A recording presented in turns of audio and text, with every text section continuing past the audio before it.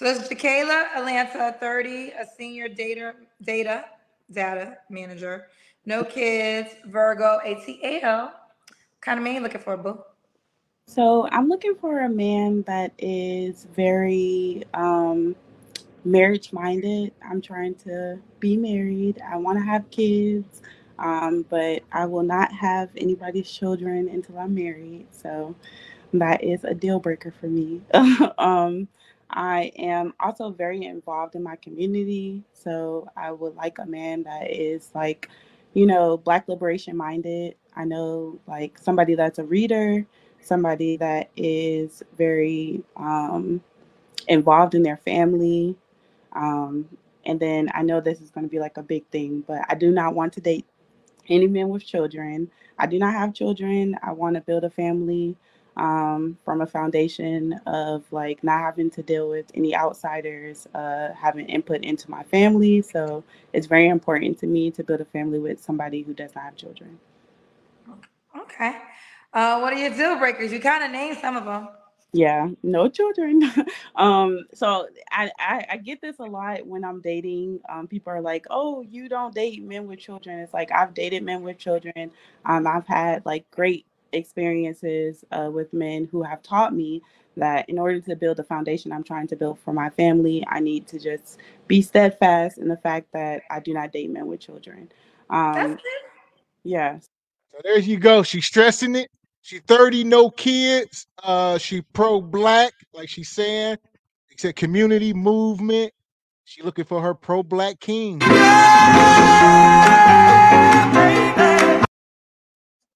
Hey, you know what? She she got no kids. She 30. Hey, there we go. That'd be about it. She needs to just be more feminine. And coming up on the Kendra circus, laying on your bed and stuff like that is always a subpar presentation. You know, we're gonna see the Kendra cam. You know, she can't, you know, she we she can't do much about her face, you know, but we're gonna see. We're gonna see what we got going on. Yeah, say whatever she about to say, because that's all that truly matters. I mean, that's the start line It's the Kendra Cam. It's unfortunate yeah, Kendra don't start right. with it. So a woman can come up here saying all the right things. Yeah. Then you got to stand up. So let's see what we got. so my other deal breaker is just uh, people who have not done a lot of self reflection or self work.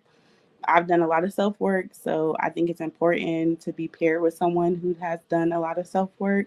Um, so as long as you can be self reflective and be accountable, um, I think that's very important. Okay.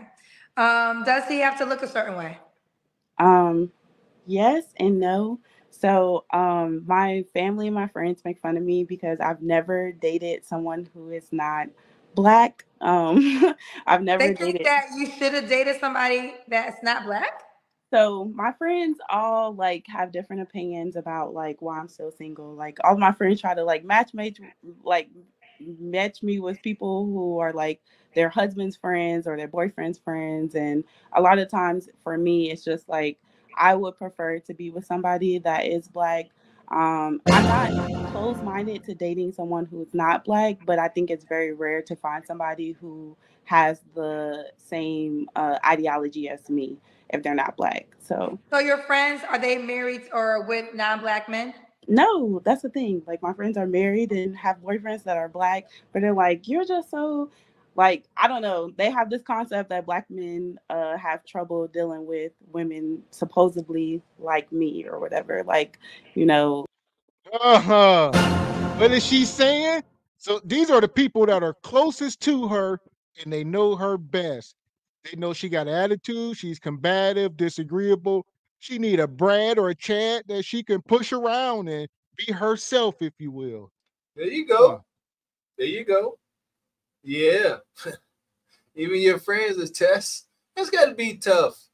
You know what? It's a shame, and it's it's funny in all the worst ways because this sister has no idea that most likely this this feeling she got now, this feeling of desperation, they that forced her to call up on the Kendra show is gonna continue on for the next 20, 30, 40 years.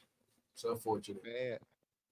She come up here and she are obviously mm-hmm. pro-black. Everybody's black, married black men, but they saying you need Brad in your There you life. Listen on. here. Just how you just how we got guys that may be good dudes, good catches, but they don't be making y'all little man in the boat tingle. Same thing here. She ain't got no kids and all that, but she ain't giving. She ain't applying no kind of pressure. Now she ain't She must be feminine built wonky. She must see be built poorly. But, um. That's that's gonna drive the point all the way home. And what are those, what are those things that they feel are like you that black men don't want to deal with?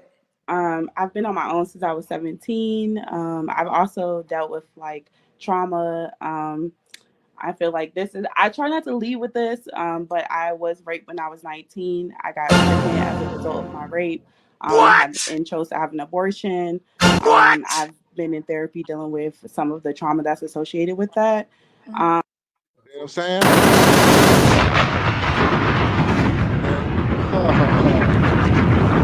now it's making sense. And I said this a while back. You know, black men are not your therapists. So a lot of times they're looking for a man and they want to dump this trauma on him, quote unquote. No, go get mm-hmm. fixed before you try to find a man. Yeah, and at the absolute least, this ain't the place to dump that. And but they keep dumping it. They, you could have withheld that. Seriously, that was not that trauma dump was not in her best interest. It's most unfortunate. It's most unfortunate.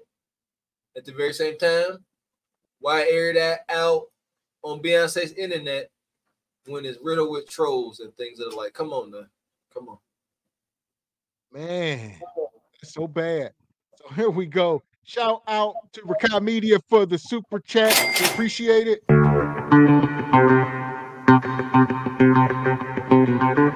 Says Mr. Walker, Gavin X, my collection for or my contribution for the collection plate at the SBC church. Yeah, yes. We, we appreciate heal. you, Pat. We we pass it around. Pass it around. Drop something in there. Twos and fews. Hit that cash app. Hit that super chat. Hey, Don Jeter, don't be taking that out the collection plate. It's deposit, not withdrawal. Don, deposit. There we go. Shout out to Rakai Media. Like Mr. Walker said, we're gonna take a second here. We're gonna pass the plate around. Y'all know what it is.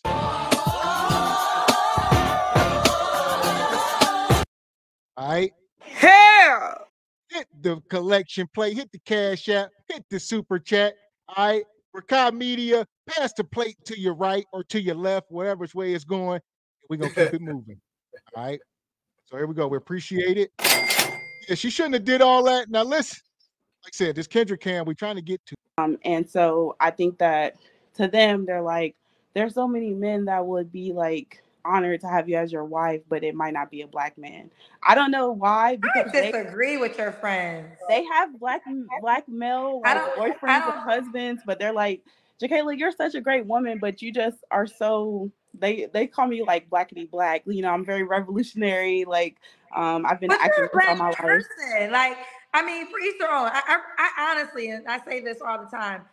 Whatever you love is what you love. But I never heard of a black woman being um scorned because she just only wants to date black men.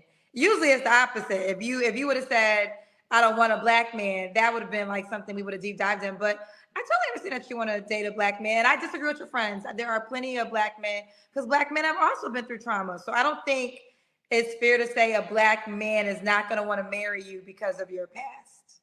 I appreciate that. Thank you. I accept that. Yeah. Um, but we keep going. Does this guy have to make a certain amount of money? Um, no, he doesn't necessarily have to make a, a certain amount of money, but he does have to be able to take care of his own expenses and not be looking for, like, you know, someone to come in and. Did her phone die? No, her name is still there. Jacayla? Am I still here?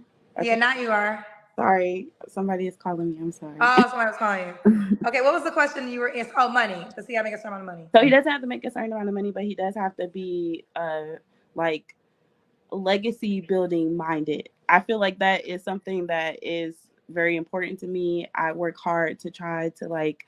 I do have student loan. I, am not gonna like be up here like I'm debt free. I have student loans that I'm paying off, but I have a plan in order to pay them off within the next couple of years. So just somebody that is like legacy minded. What are you going to leave behind, and like what are you going to actually have for the children that you want to create? Let's see that Kendra Cam. You That's what talking cash, do.